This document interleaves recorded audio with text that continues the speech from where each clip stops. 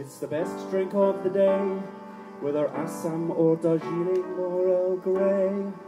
So if you like great tea, listen carefully. Please put some tea leaves in a pot. Don't use a tea bag, please do not. Boil some water, but you ought to make sure it's scorching and seething and scalding. Now pour the water over the leaves. Watch them dancing. See what a spell hot water weaves. Taste enhancing, but it must be 100 degrees. Put some milk into a cup or put some lemon. Don't fret, your tea is coming up. Let me demonstrate.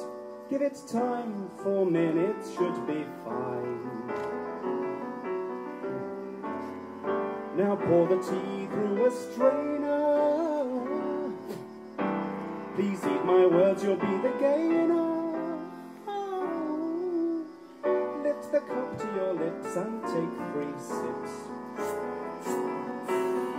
It's good, it's good, it's good. It's good, is it not? And there's more in the pot, yes, it's great to drink to that tastes this good. Cause it's the best drink